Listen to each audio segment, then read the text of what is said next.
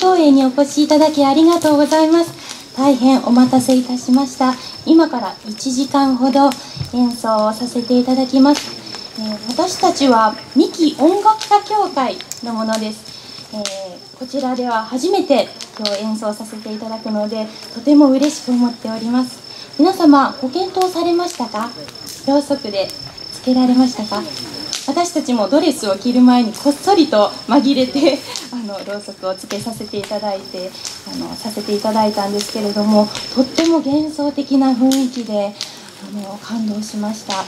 えー、皆様の心に響く演奏ができればと思っております。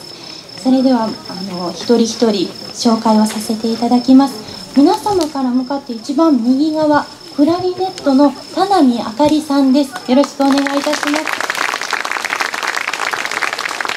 そして右から2番目フルートの瀬立美里さんです。よろしくお願いします。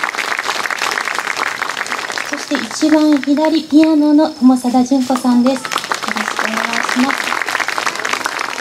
ソプラノの山田千尋と申します。よろしくお願いいたします。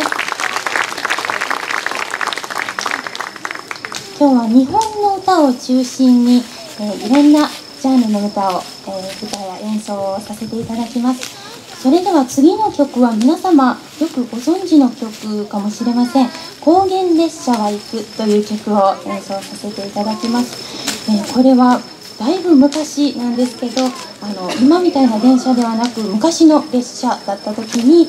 あの窓が開くのですが窓からハンカチをこう振って「さようなら」と外にいる人に「さようなら」とするんですけどその時にハンカチがすすで汚れてしまってあ大変だ。